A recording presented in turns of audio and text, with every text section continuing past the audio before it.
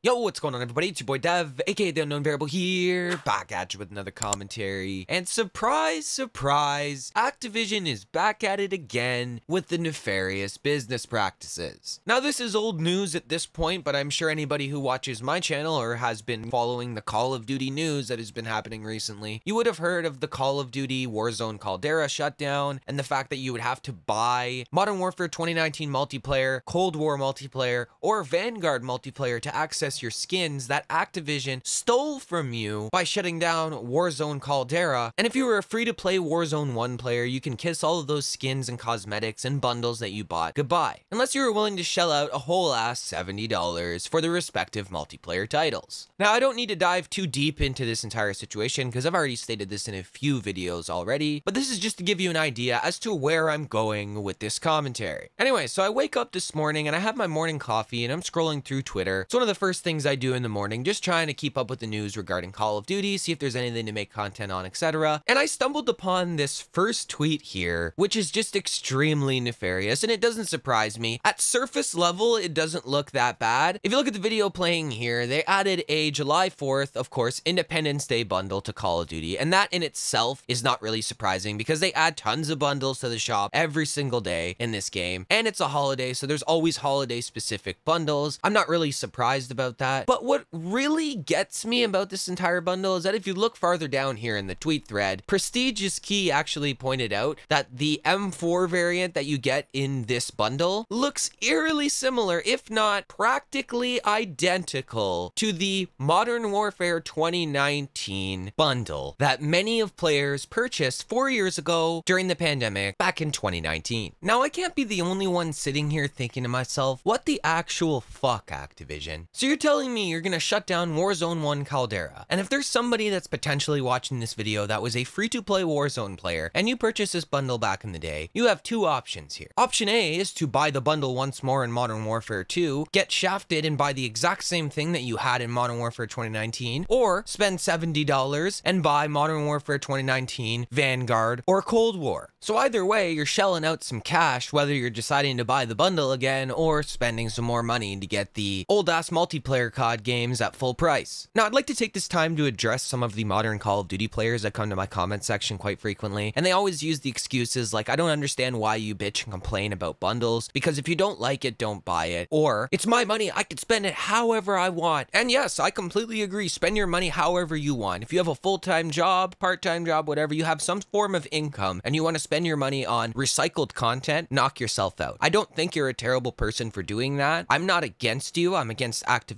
So please, everybody that comes to the comment section and likes to use this logic, I'm putting this portion of the video for you guys. Please keep the comments respectful because there's no point in sitting here and arguing and bickering and defending Activision in the comment section for absolutely no reason when I'm not personally attacking you. I'm personally attacking the nefarious business practices that Activision uses in their games. Now, this second tweet that I stumbled upon today was kind of funny or terrible depending on which side of the fence you're on. Me personally, I have some dark humor. So to me, this was kind of funny and just shines some light light on the utter incompetence that Activision displays on a daily basis. But I'll put the tweet up on screen right now. It says, for people asking where the Izanami bundle is, this is a new bundle that is releasing in Call of Duty. Everybody's excited for it. It's super colorful, you know, etc. Activision renamed the bundle to Izzy. If you want to know why, spell the name Izanami backwards. There is not a confirmed release date for the bundles, but rumors suggest next week. Now, for obvious reasons, I'm not going to be spelling Izanami backwards, but you could do it yourself yourself, and I'll give you like a little moment here to do it and let it sink in. Just read it backwards.